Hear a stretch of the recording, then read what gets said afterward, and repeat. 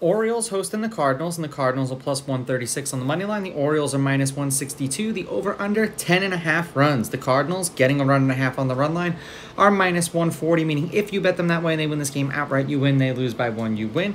And the Orioles laying a run and a half on the run line are plus 116, meaning if you bet them that way, they must win by two. Now, these are the overnight odds. They're going to change the closer we get to first pitch tomorrow. Thank you for everyone who continues to join the Discord. I really do appreciate you guys. If you have not done so yet, go to my website, rawsportstalk.com, click on the membership tab. On the $14.99 membership, it'll have my Discord.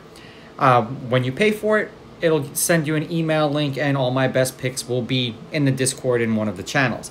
Now, Rom did not pitch against the Orioles either last year or this year.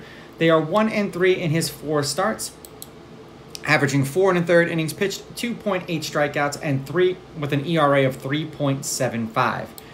For the Orioles, Gibson pitched twice against the Cardinals last year. Four innings, six runs, six earned. They lost that game seven to six. He struck out two, and then seven shutout innings. They won that game one nothing. That was in St. Louis, and he struck out five. They are three and two in his last five starts. He's averaging five and two thirds innings pitched and 4.6 strikeouts per game with an ERA of 5.2.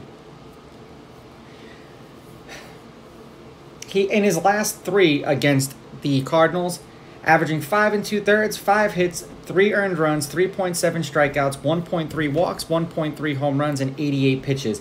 He did that uh, with the Phillies, the Phillies, and uh, then with the Twins. Those were his three appearances against the Cardinals.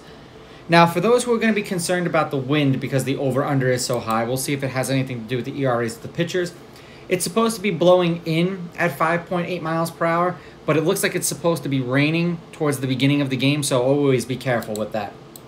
Now, head to head, the home team is 5 and 5. The Orioles are 6 and 4. The underdog is 6 and 4 on the money line. The underdog getting a run and a half on the run line, you guessed it, 6 and 4.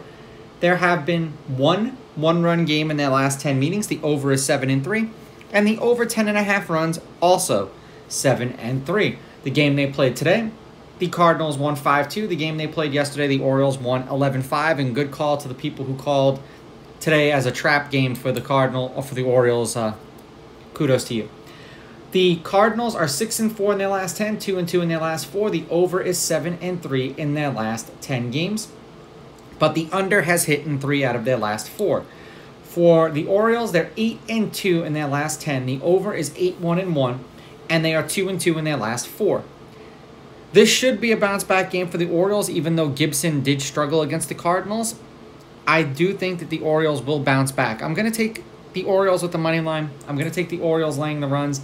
And both of these pitchers are, uh, let's just check out the overs. The over is hitting Gibson's last two and is 4 and 1 in his uh, last five starts. And the over is 3 and 1 in Rom's starts, so I'm going to go over. These are just my picks. If you disagree, please go with your gut and please bet responsibly.